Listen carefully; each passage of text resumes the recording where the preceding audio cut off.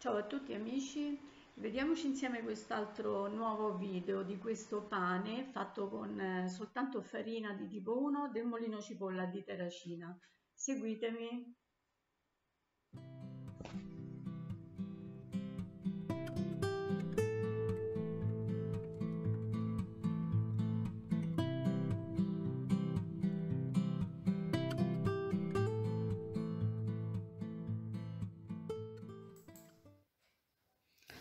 Allora, qui ho preparato il licoli eh, che l'ho fatto espresso, cioè ho preso un pezzettino di pasta madre e l'ho trasformata in licoli, proprio per fare questo tipo di pane. Ho preparato la farina, farina di tipo 1, eh, l'acqua e il sale. Adesso verso direttamente dentro mm, la ciotola della planetaria eh, 70 grammi di licoli, lo sto pesando perché forse era un pochino di più. Eh, non è molto idratato questo licoli, eh, forse ho messo un po', ho messo meno acqua, ma non importa. Ecco qua. Ora lo sciolgo con, un po' di acqua, l'acqua che, che ho, preparato per, per eseguire la ricetta quindi con la stessa acqua che ho già eh, pesato. Oh, l'acqua pes- pesiamola sempre perché mh, mm, se andiamo a vedere questi contenitori con, in, con i segnetti mm, di, delle ml, eh, di solito non sono mai precisi, quindi la pesiamo, tanto l'acqua, il peso è uguale all'ml, ai milligrammi. E una volta sciolto, sciolto, il lievito butto di, di, botto tutta la farina. Qui andrò a fare una, un'autolisi, un'autolisi con tutto il lievito questa volta. Mi piace anche un po' sperimentare. Eh. Quindi ci metterò piano piano più della metà dell'acqua, non è che mi metto lì a misurare, eh la metto fino a che non vedo che tutta la farina si è inumidita.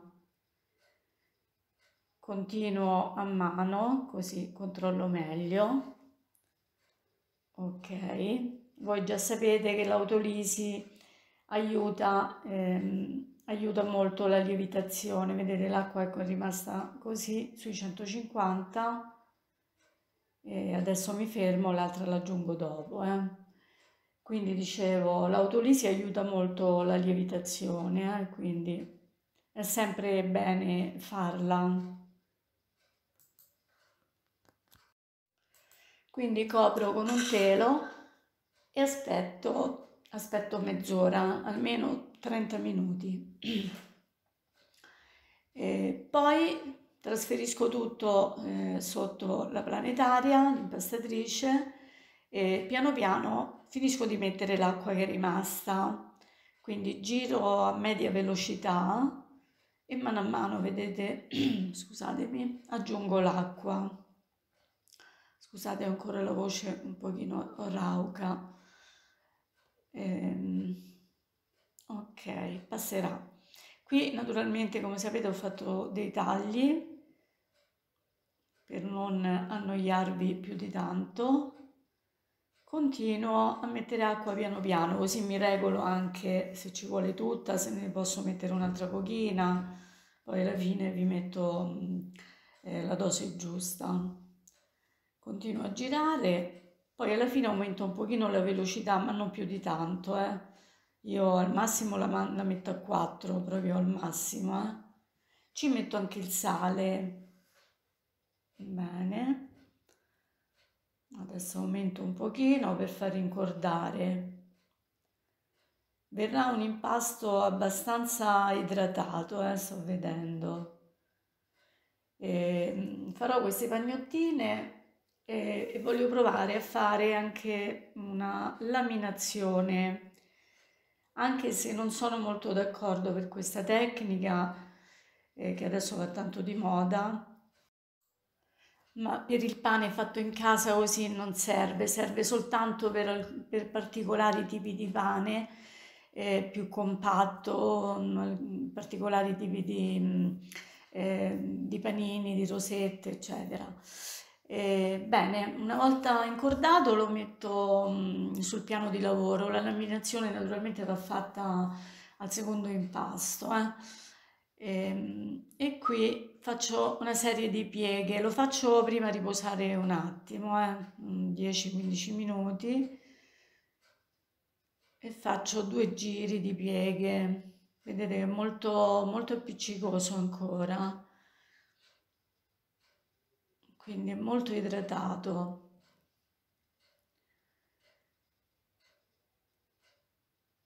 Ok, una volta pronto ehm, lo, lo metto dentro la ciotola, la solita ciotola con un filo d'olio, così, e lo lascio, lo lascio fino a che eh, non aumenta di volume. Qui potrei fare anche un altro giretto di pieghe, anzi lo faccio in ciotola, direttamente in ciotola, così eh, migliora un pochino, perché lo vedo molto non eh, proprio incordatissimo, quindi mi aiuto con le pieghe in questo modo. Ok.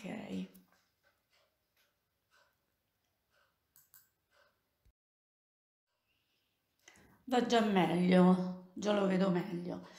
E, bene, lo copro con la pellicola, ci metto anche il coperchio perché ci sono i buchini laterali, vedete? Quindi lo copro così e, e lo lascio, aspetto che raddoppia un pochino. Ed eccolo, non è cresciuto proprio tantissimo, adesso vediamo quello che possiamo fare con le pieghe, però è bello, l'impasto è molto bello, eh? diciamo che si è allargato dentro la ciotola e quindi non sembra sia cresciuto tantissimo.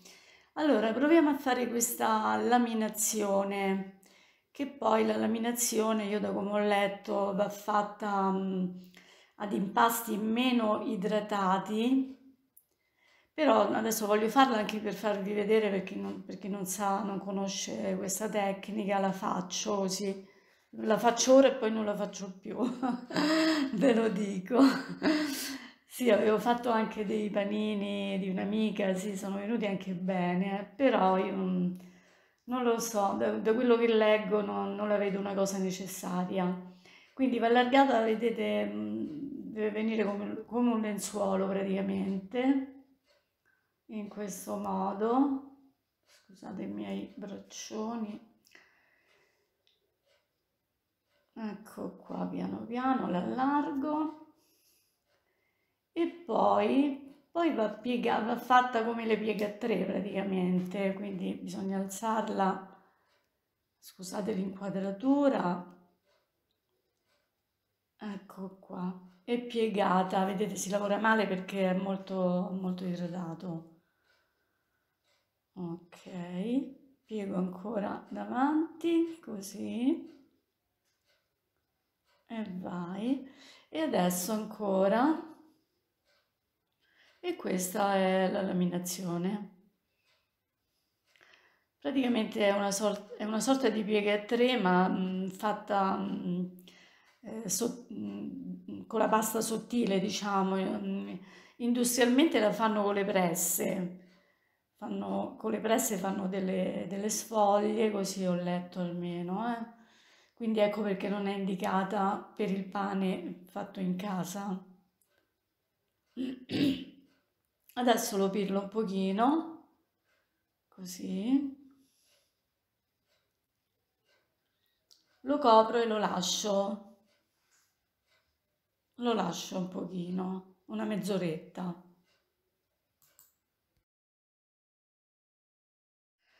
Allora, adesso senza toccarlo tanto, metto solo un po' di semola, appena appena la metto, la metto intorno, così se mi serve eh, la metto sulle mani e ehm, lo allungo solo perché voglio farci due pagnottine, pagnottelle diciamo, impasto da 600 grammi, quindi sarà pressappoco un chilo di impasto. Ce ne farò due così posso regalarne una per la mia nipotina la più piccola perché le altre non mangiano, mangiano poco pane, invece la più piccolina gli piace il mio pane, quindi una pagnottina gliela darò. E ehm, adesso comunque lo vedo bello, malgrado la laminazione, eh, vedo le bolle, quindi dovrebbe riuscire bene, eh? anche se morbidissimo. Avvicino i lembi in questo modo per formare la prima pagnottella, così. Eh, vedete che ancora appiccica. Mettiamoci un po' di semola. Mm, ok, una pirlatina e la prima è pronta. Andiamo con la seconda. Poi le metterò dentro il cestino, no perché sono grandi i cestini. E le metterò mm, un, su un telo, sul recipiente con un telo, con la semola addosso, attorno. Allora, io sto facendo questo, mm, questo impasto, ho iniziato nel pomeriggio, adesso siamo arrivati a sera, quindi non farò in tempo a cuocerlo stasera perché altrimenti dovrei cuocere a mezzanotte eh, quindi farò un passaggio in frigo, ma lo faccio soltanto perché ho iniziato nel tardo pomeriggio. Se voi iniziate la mattina potete fare tutto in giornata a temperatura ambiente. Quindi gestite come meglio credete eh, questo impasto, i tempi di lievitazione. Ok, fino a qua ci siamo. Adesso ho preparato un recipiente che è un suolo praticamente. Ecco qua, con un telo piegato alla metà, ce n'è un pezzo rialzato. Metto tanta semola. Ok e li metto così in modo che si tengono, si tengono sono pagnottelle quindi femmine, si tengono ehm, appoggiate e crescono, non si allargano di molto. Beh, le nostre nonne facevano così, eh, mettevano tutto il pane dentro dei teli, poi la mattina infornavano.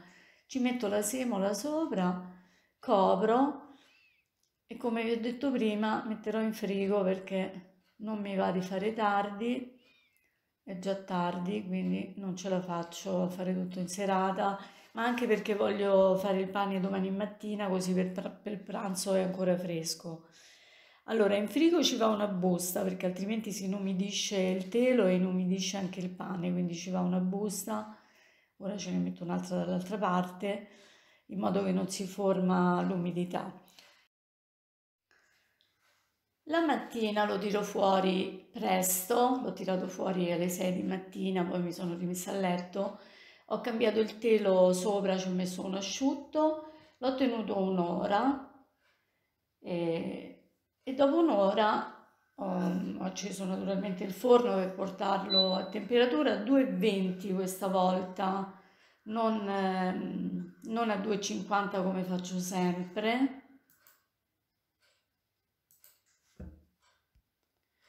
Perché sono piccoline, quindi e poi non voglio farle cuocere tantissimo, non voglio, non voglio farle bruciare, diciamo, eh, un, po', un pochetto meno cotte le voglio fare. Allora, quando il forno è quasi a temperatura, mi me le preparo. Vedete, questo è, è la nuova lametta, l'ho ordinata su Amazon, carina, vero? Eh, mio marito si è arrabbiato perché ci ho messo tanto per fare quella così artigianale fatta da lui, però volevo cambiare e prenderne una un pochino più decente. Allora, con le mani ho messo, le ho tirate fuori, mi dispiace che è saltata la sequenza, non capisco, non l'ho registrata forse. Comunque piano piano l'ho tirate fuori con le mani e appoggiate delicatamente sulla carta forno e sulla pala, in modo che poi farò scivolare come faccio sempre, già lo sapete, sulla teglia calda che ho nel forno. E I tagli non vengono benissimo perché sono morbidissimi, eh. Anzi, devo pure sbrigarmi a infornare, non vorrei che mi si allargano troppo. Quindi faccio dei tagli veloci così. Ok. Il forno, eh, nel forno ho messo due mm, spruzzi di vapore. Se non avete il forno mm, con il vapore, eh, fatelo con uno spruzzino, eh? spruzzate all'inizio tanto e poi dopo 5 minuti un altro spruzzo. Ok, rinfiliamo la lametta perché è pericolosa lasciarla aperta e adesso faccio scivolare nel forno caldo a 220 gradi. Come vedete si sta alzando, avevo paura, visto che l'ho viste un pochino che sono scese, che non si alzavano. Invece si sono alzate un pochino, ma non troppo, proprio così le volevo perché è troppo ammollita e non va bene. Queste sono pagnottine che debbono comunque rimanere non dico basse, ma insomma leggermente basse. Vedete si sono cotte all'incirca con 40 minuti. Ascoltiamo.